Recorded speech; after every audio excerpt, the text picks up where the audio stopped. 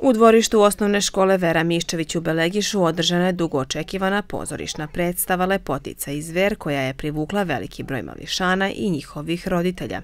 Ova manifestacija bila je deo Dečijeg kulturnog leta 2024. godine organizovana od strane Centra za kulturu Stara Pazova.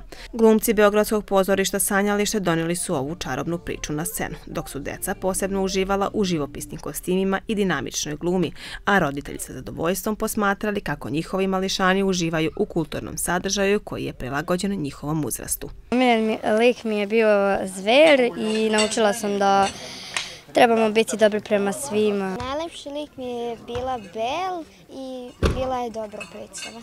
Šta si ti naučila iz ove predstave?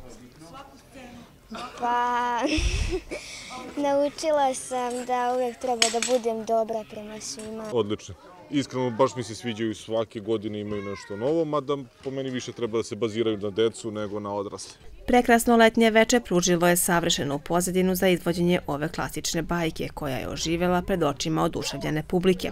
Profesionalni glumci i predivna scenografija donijeli su priču o ljubavi, hrabrosti i promenama, ostavljajući sve bez daha. Interaktivni momenti predstave omogućili su mališanima da se osjećaju kao deo priče, što je dodatno doprinelo njihovom uzbuđenju i radosti. Igrala sam Lepoticu, Bel, iz Lepotice izveri, pa iskreno, s obzirom da je danas premijera, predivno iskustvo, zato što su i deca divna bila, baš je lepa atmosfera, bila sve ukupno i eto, vrlo sam zadovoljna. Koliko ste vi vremenski pripremali ovu predstavu?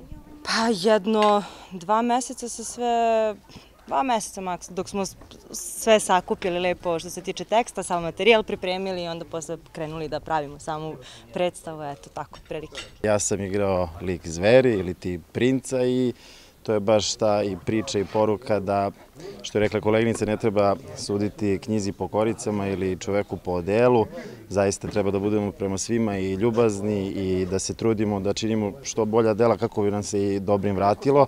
Tako da se nadamo da su deca uhvatila deo te magične priče. Više volim kad sam princ, a ne zver, mada iz tog zverskog izađe i nešto ljudsko, mogu tako da, da kažem i, i zaista E, on jeste u suštini i shvati kroz celu tu e, njegovu priču da je jednostavno potrebno biti čovek i da u stvari taj spoljašnji oklop se vrlo lako na kraju skine, a ovo iznutra ostaje za ceo život. Pozorište Sanjalište je jedno lepo deče pozorište iz Beograda.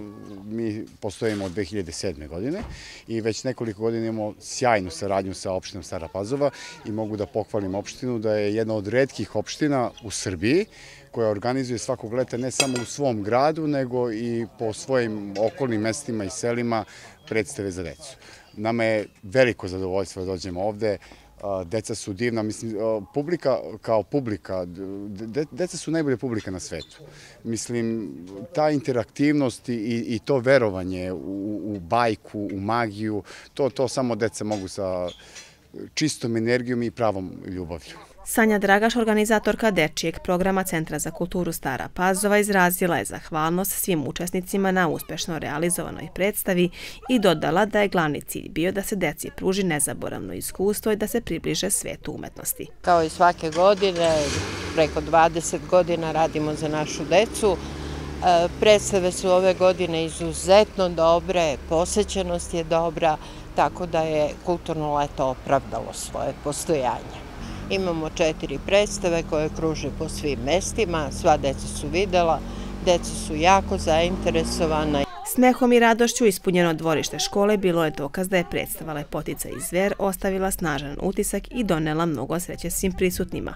Ovakve događaje su od neprocenljivog značaja za razvoj kulture među najmlađima.